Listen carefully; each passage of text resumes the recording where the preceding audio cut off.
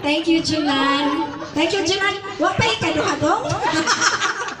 okay, so karon mo naman ang amahan atong tawagon ang proud. Di man ikaw ay si Lola Inay.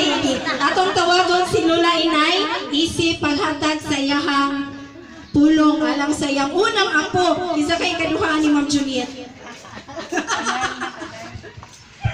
Salamat Adel, kung sa bada ilabot di ko. So may udto sa tanan no. Una tanan akong kinatingkasi nga pasalamat sa ania karon din uh, nitambong sa bunyag sa pinak sa di mo tingog. Sa pinakaunang apo niya sa mga karing mga tao diri nga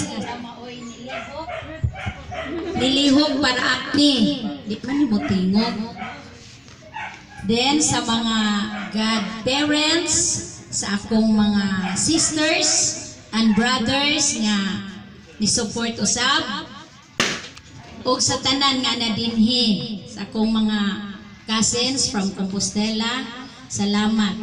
So nalipay kaayo ko nga nanagyod ko at last nanagyod ko yung apo. Ug wa ko mo 52 ako kaapo Nya, akong wish nga unta ang akong apo magtubo nga buutan.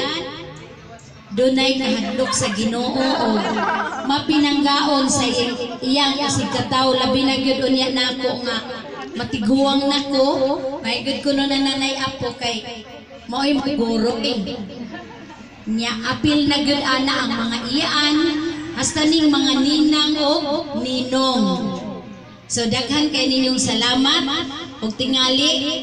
Ay nagdugaya gyud adili kay panipito na dina ang atong tekbol para sa atong paniudto. So daghang salamat